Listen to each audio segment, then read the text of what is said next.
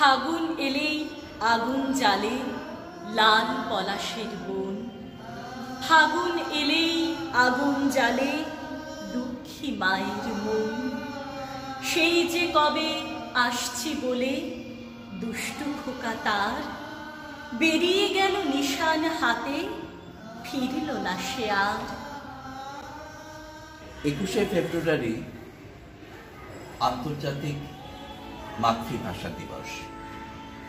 বাংলাদেশ সহ পশ্চিমবঙ্গ তথা সমগ্র বাংলা ভাষাভাষী মানুষের কাছে একটা গৌরবোজ্জ্বল দিন এই বিশেষ দিনের স্মরণে ও মননে গীতিয়া লেখ্য অমর একুশে। নিবেদনে বালিগঞ্জ জগৎবন্ধু ইনস্টিটিউশনের প্রাথমিক বিভাগ যাদের আত্মবলিদানে এই দিনটি স্মরণীয় হয়ে আছে। প্রথমেই তাদের উদ্দেশ্যে জানাই সশ্রদ্ধ প্রণাম। ও তাদের পরিবার পরিজনের জন্য রইল আমাদের সংগ্রামী অভিনন্দন। মাতৃভাষা, মাতৃদুগ্ধ সম শিশুর জন্মের পর তার লালন পালনের জন্য যেমন মায়ের প্রয়োজন, তেমনি তার আত্মবিকাশের জন্য প্রয়োজন মাতৃভাষা। এটি তার জন্মগত অধিকার। যেমন বাংলাদেশের মাতৃভাষা হল বাংলা। বাংলা ভাষা উচ্চারিত হলে নিকানো উঠোনে ঝরে রৌদ্র।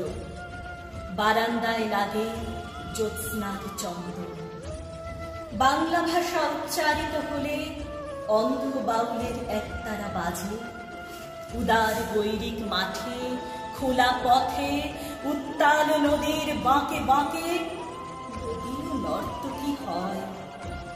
যখন সকালে নতুন শিক্ষার্থী লেখে তার বাল্য শিক্ষার অক্ষর কাননে কুসুম কলি ফোটে, গৌরাখালের বাঁশি হাওয়াকে বানায় মেঠো সুর পুকুরের কলস ভাসে, বাংলা ভাষা উচ্চারিত হলে চোখে ভেসে ওঠে কত চেনা ছবি।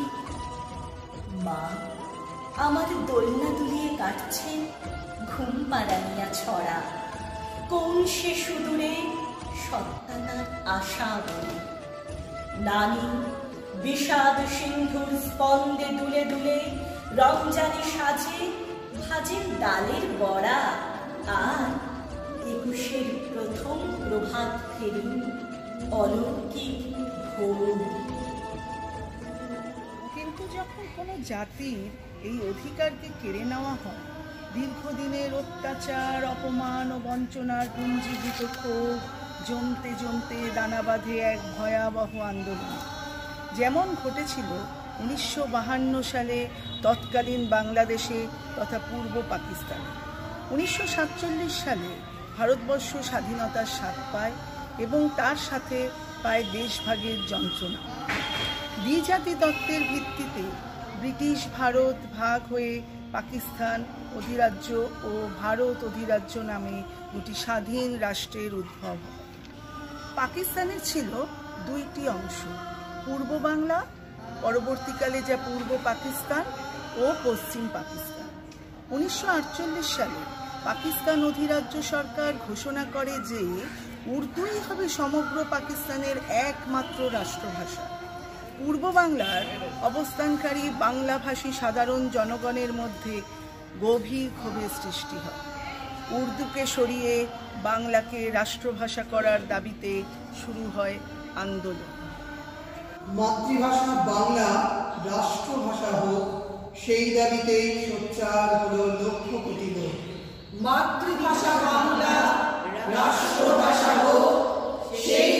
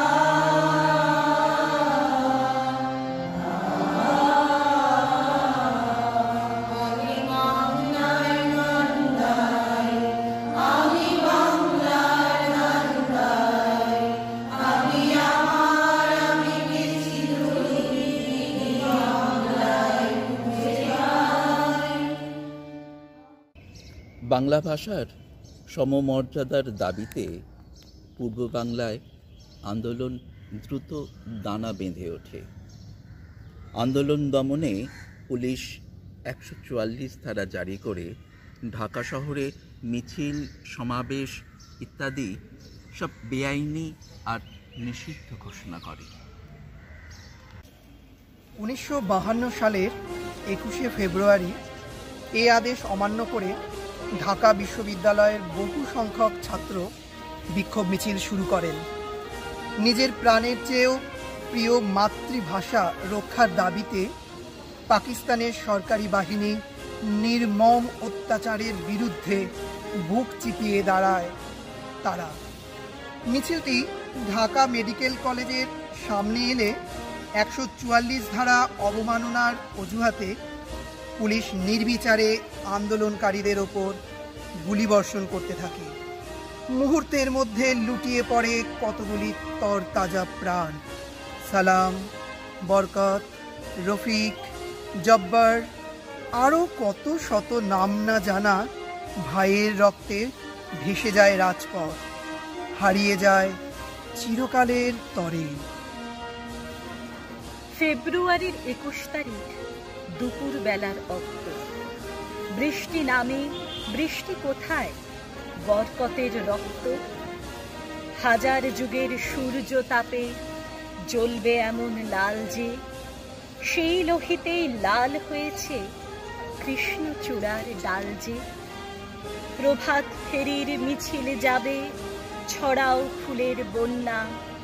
বিষাদ গীতি গাইছে পথে, তিতু মীরের কন্যা। চিনতে নাকি সোনার ছেলে? ক্ষুদিরামকে চিনতে? রুদ্ধশ্বাসে প্রাণ দিল যে মুক্ত বাতাস কিনতে। পাহাড় তলির মরণ চূড়ায় ঝাঁপ দিল যে অগ্নি। ফেব্রুয়ারির শোকের বসন পড়ল তারই ভগ্নি। প্রভাত ফেরি প্রভাত ফেরি, আমায় নেবে সঙ্গে বাংলা আমার বচন আমি জন্মেছি এই বঙ্গে। আমায় গেথে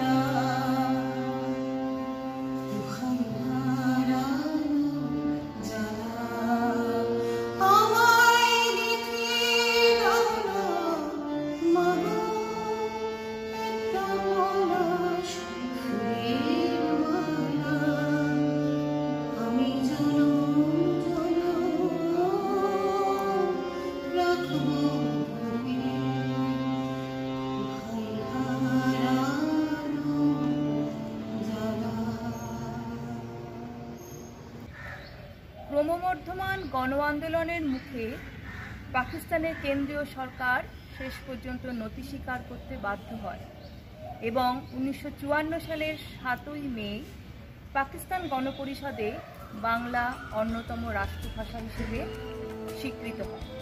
এই ঘটনাকে মনে রেখে উনিশশো নিরানব্বই সালের সতেরোই নভেম্বর ফ্রান্সের রাজধানী প্যারিসে ইউনেস্কোর তিরিশতম অধিবেশনে একুশে ফেব্রুয়ারিকে আন্তর্জাতিক ভাষা দিবস হিসেবে ঘোষণার প্রস্তাব পাস হয় ঠিক তার পরের বছর, একুশে ফেব্রুয়ারি, পৃথিবীর একশো অষ্টআশিটি দেশ এই দিনটিকে আন্তর্জাতিক মাতৃভাষা দিবস হিসেবে পালন করে। পৃথিবীর ইতিহাসে বাঙালি একমাত্র জাতি, যারা কেবলমাত্র ভাষার জন্য আত্মবলিদান করে গেছে। এই দিনটি আমাদের প্রত্যেক বাঙালির কাছে বড় আবেগ ও গৌরবের দিন। আগামী প্রজন্ম যেন তাদের এই অবদান কখনো ভুলে না যায়। ভিজল বাতাস ডুবলো আকাশ বাংলা ভাষার গ্রাম আমার ভাইয়ের রক্ত দিয়ে একুশ লিখিলাম। আমার